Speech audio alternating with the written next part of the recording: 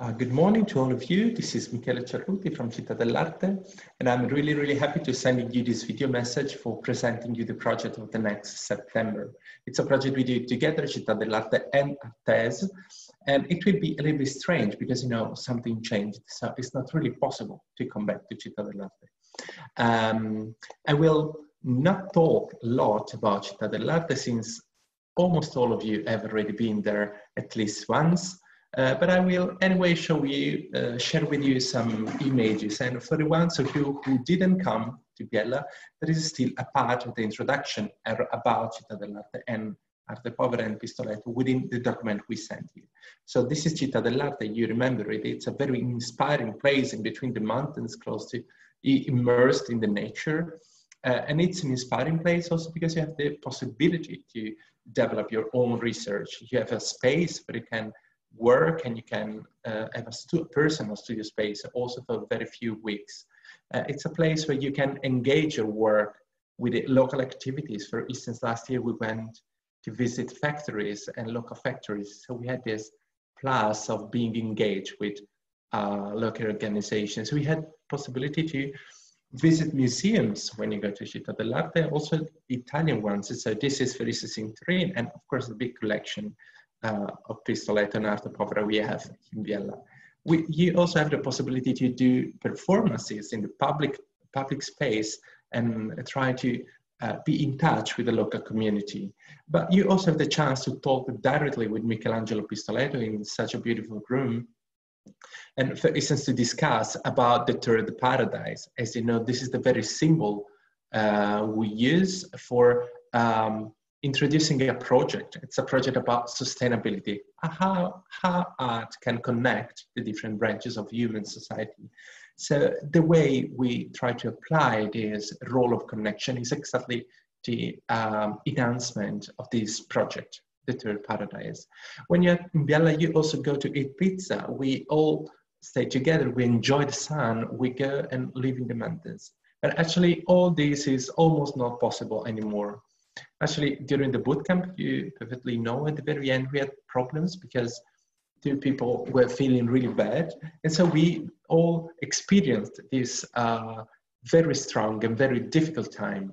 It was so strange for all of us at that moment to wear the face mask and also to, to feel really uncomfortable, but like the pandemic was coming and that these were also if the people didn't have the corona, but still this was the moment when we experienced for the first time that something was really changing.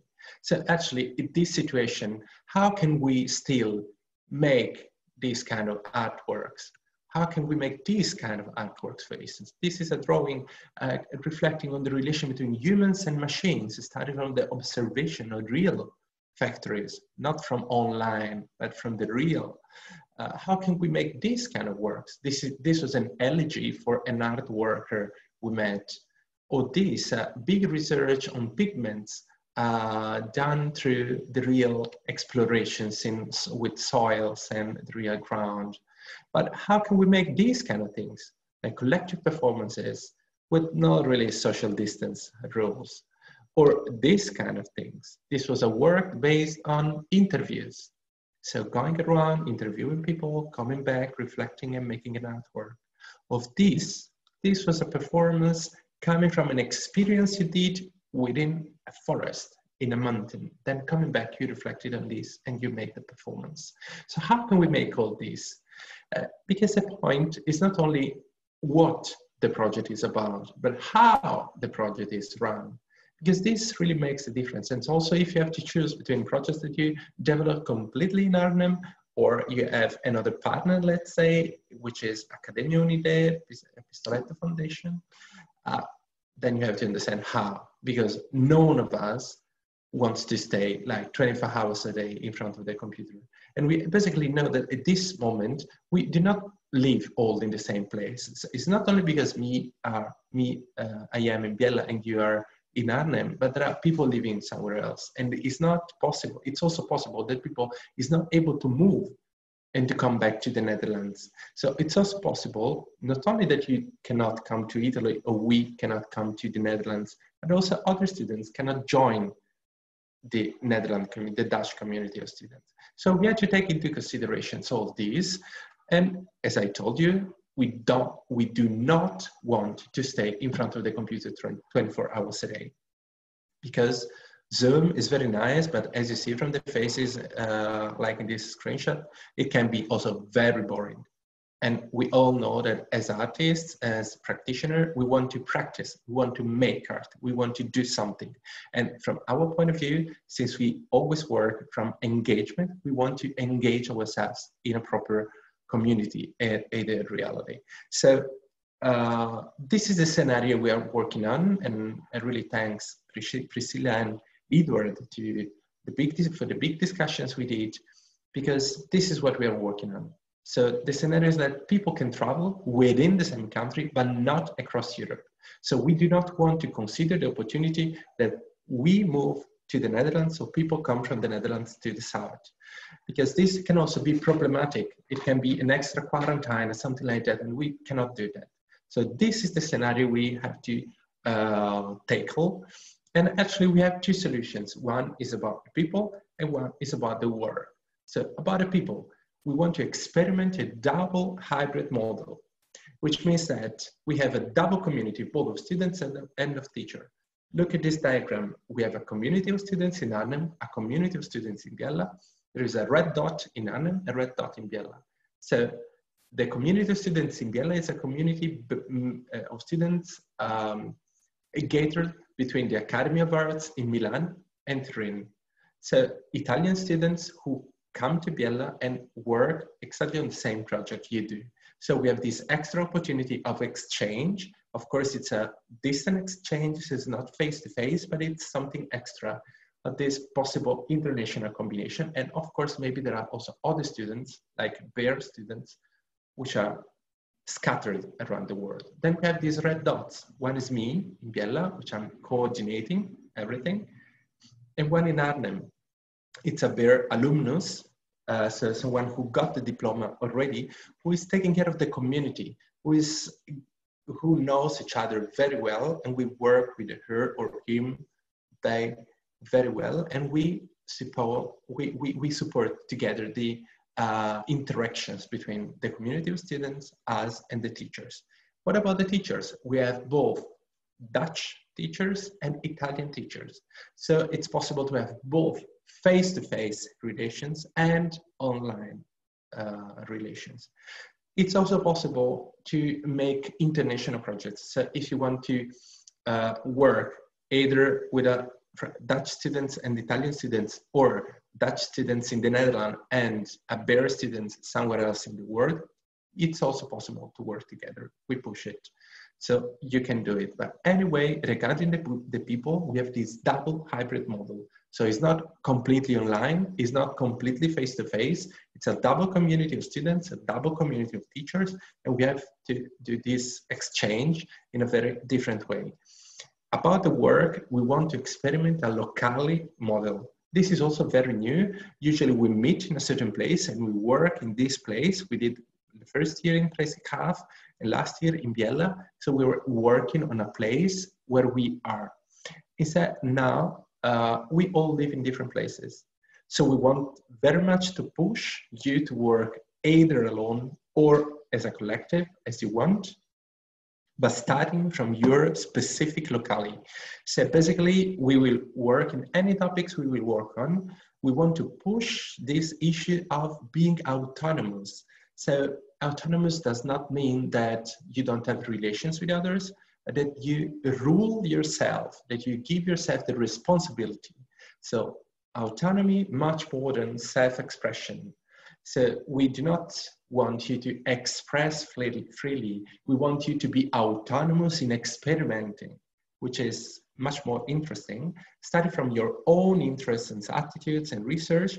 We want you to develop a personal, either collective artistic practice, something practical. We want, we want you to do something in a specific context. So not, it does not mean that you have to close yourself inside the studio or close yourself in front of the computer, but you have to engage your work and negotiate your work with your own locality. That's the very basic. So the double hybrid model, but also a locality model. This is how we want to do the, um, the project. And then what? So this will reduce the online very much. And this will also take a lot of advantages of the online opportunities. And about advantages, I'm meaning these. So when we talk, when we say that the teacher is Città dell'Arte, we mean that we are a collectivity of people. So yes, about the coordinator, it's me and Juan, it's an artist also in Città dell'Arte, and the Bear alumnus in, um, in Arnhem, we will all work together with all of you. But then the two teachers, all this has to be confirmed, but the structure is the same anyway. So Adelita Husni-Bey and Beatrice Catanzaro can be the two tutors, one in the Netherlands, one in Italy, and we work together, separately and together. So each of you will have the chance to talk face to face with someone and also online with someone else. And then you have all these contributors that will give you a few uh, presentations, a few introductions, either talks, either uh, any possible relationship. As you see, they come from all around the world, all around the world, from Palestine to Denmark, to the US, to Russia, to Italy and the Netherlands, of course. So we really want to push this opportunity of being online now and then, so not all the time, but only a few times during the day, during the week, let's say, but use it as much as possible as an opportunity and not as a something that you are compelled, compelled or, or you compulsory do something like online, which is very boring and stressful as well. So this is the topic. We want to work on borders and boundaries. And why? Because now we are living in this moment of the coronavirus and every one of you know, everyone, every one of us know that the coronavirus is pushing something which is already happening for a while. So it's dividing the places, dividing the countries much more. It's not possible to travel, but it's not only because of the pandemics, it's also because of the division, the increasing division between countries and the increasing populism. We know from the last days, from the previous weeks, what is gonna, what, what is happening all around the world, and the borders is like one of the more um, stunning and also uh, like uh, relevant issue for the moment. So borders and boundaries, this is the topic of our project. But it's not only these two, but it's actually four topics, borders, limits, boundaries, confines. Borders, it's a geopolitical issue. So the fact that in certain places of the world, and I know some of you come from those words, from those part of the words, like Palestine, either USA and Mexico, either Cyprus, either Europe during these days, it's not possible to cross the border. So the border is something that divide different nations, divide different populations. And we will meet artists working on this issue and we will talk with them and we will try to understand how this can be developed into a certain artistic practice in our locality. And then limits, limits regard people. People cannot really move. Uh, yes, we are talking about migration, but a border regarding migration is a limit and it's because of your passport. So thanks to your pass passport, you can go to certain areas or do not go to other areas. So in this case, the limits, it's about the migrations and the fact that we as humans, we are all migrants at the moment, but we cannot all go everywhere, everywhere we want. Then we have the boundaries. The boundaries are within a specific territory between organizations and people. So it's a boundary, for instance, between black people and white people. And we know what, what is happening in the US in these days. There are boundaries between straight people, fascism, fascist people, and queer people, for instance. There are boundaries between local people and refugees, immigrants, and again, local populists. So those boundaries in between us, and also boundaries, for instance, between the politicians and the people themselves, those boundaries between the organizations of society are the boundaries we experience every day. So this is also a topic we want to address. And then we have the confines we all experienced thanks to the pandemic, how our house can be a boundary itself so we were the same inside the house and outside the house, the unseen or the unknown. So anyway, our house was a boundary itself. So you can work on any of these issues. Uh, you only have to keep you know, the issue of border, the issue of boundaries, of limits and confines. And if the world is closing the borders, we believe that art can instead open thresholds. So these two words are really meaningful for us. So limes and limen are two Latin words. They're very similar, but the first one means boundary is the end of the civilization. When the, when the city finishes, when a country finishes, there is a limes. It's a boundary. It's something that ends. And instead we have limen. A limen is an in between. It's a threshold. So it's, it is not the end of something, but it's the start of something else. It's a space itself. So we basically believe that art can transform limes into limen, boundaries into threshold, something you can trespass and you can somehow open up for uh, uh, depicting, imagining a different world. So as examples, of course, you have many possibilities and you can explore by yourself many possibilities.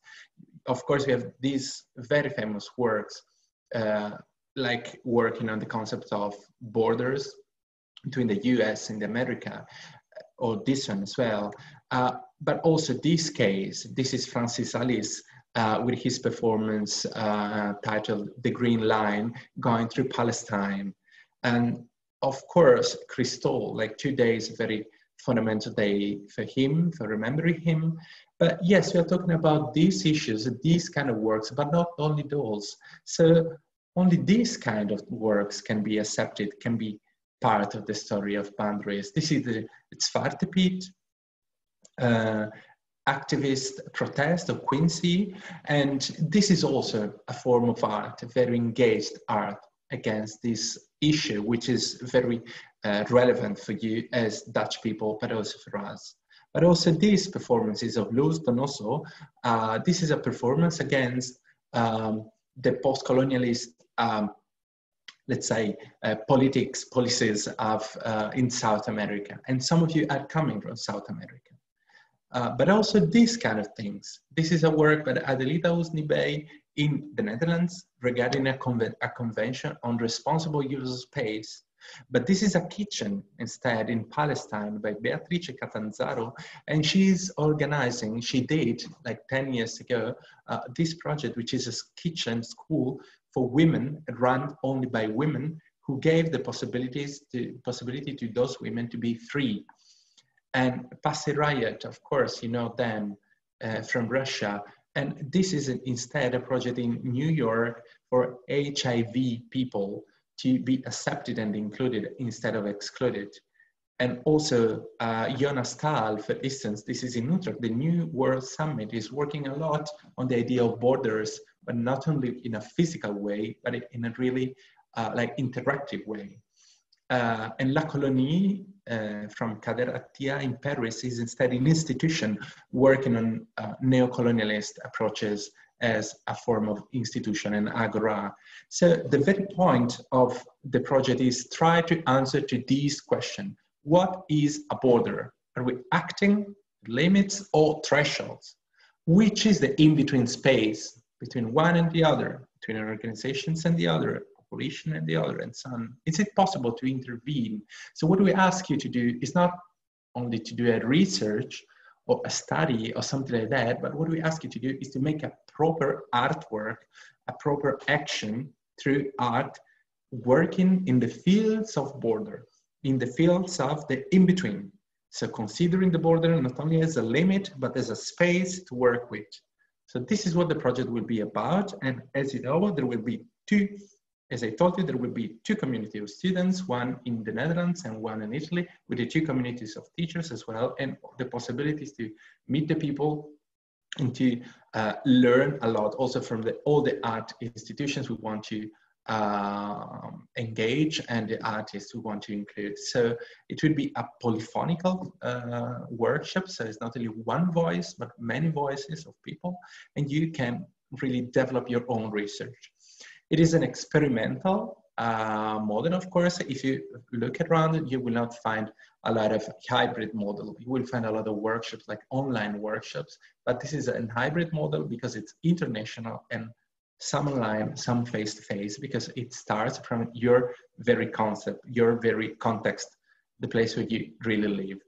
Uh, and we do it together because we know that the only way to do it is together. So I really hope to see you very soon and also to do this picture again in presence. And thank you for listening. Sorry if it was a little bit too long, but I had to explain to you how the situation changed. And yes, let's meet very soon. Bye bye.